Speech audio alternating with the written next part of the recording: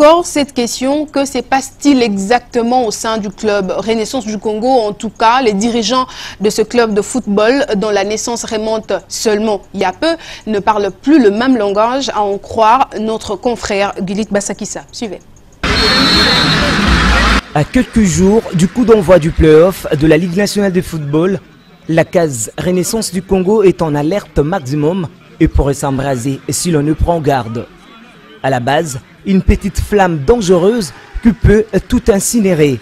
Le comité général du club vient par une décision unilatérale d'exclure la section Barambou des affaires sous prétexte qu'elle aurait contacté Edingwe Motonangenge avec une somme de 2000 dollars provenant d'Antoine Moussangania pour freiner l'élan du club.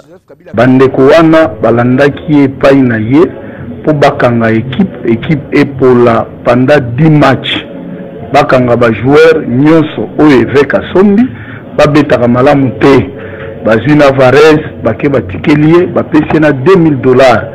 Ke échec ezala 10 match mpo équipe epanzana bandeko basupporter bazonga na dcmp Chose rejetée en bloc par Maître Claude Carle Kwatangolo, l'un des accusés reçu à la matinale d'Oraga Télévision, qui estime avoir le main propre et affirme que c'est une histoire montée de toutes pièces pour les écarter de la gestion du club. Comment M. Moukouna a raconté des bobards, des faits imaginaires? Je n'ai jamais parlé avec Edingwe, je ne le connais pas. Je le vois à la télé lorsqu'il fait ses spectacles de catch. Je n'ai jamais conversé avec lui.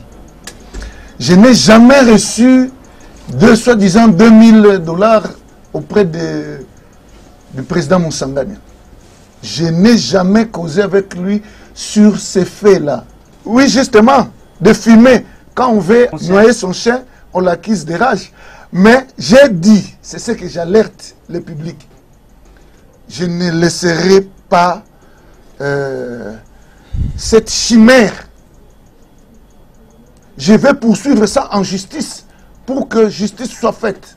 Le monde est pris en témoin quant à l'aboutissement de ces feuilletons qui a mal commencé pour les oranges.